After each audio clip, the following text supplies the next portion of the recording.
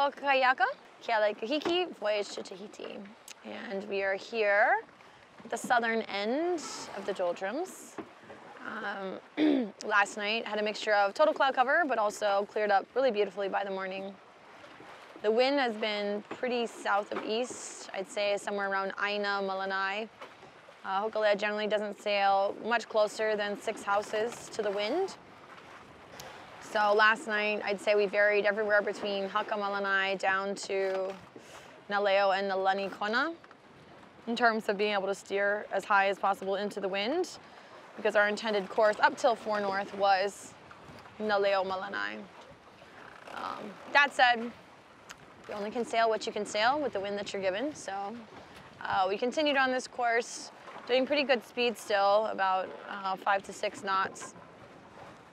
Um, we have all of our sails open, our, our, main sail, our back sail, and also a head sail. Our estimated position after last night is around 1,000, 120 nautical miles along our course with an estimated position 90 to 95 miles west of the reference course and between 3 and 4 degrees north latitude.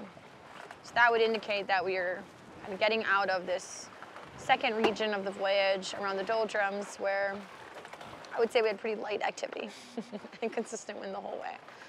Um, we still might have a little bit more. I've certainly seen sometimes where you do get some weather just a little further south than four degrees. It looks pretty clear today. Uh, the sunrise was really clean.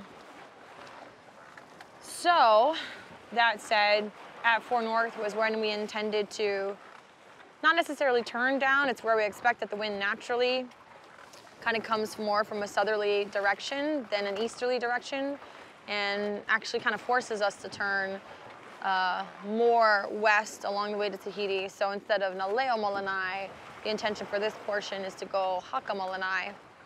Um, we just did a sail change to try and get just a little bit higher into the wind to try and get back some of the lost ground to the west for the last couple of days. Um, we're gonna try and hold something close to Haka. It might end up being Hema. Uh, we'll see. Uh, maybe the wind will kind of back off a little more to the east as we head a little bit further south. Uh, but we'll have to see how that goes for the rest of the day.